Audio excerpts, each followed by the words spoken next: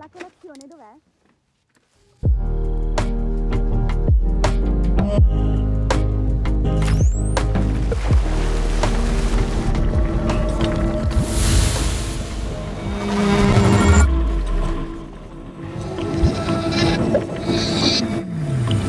Ho fatto ascoltare di tutto, niente.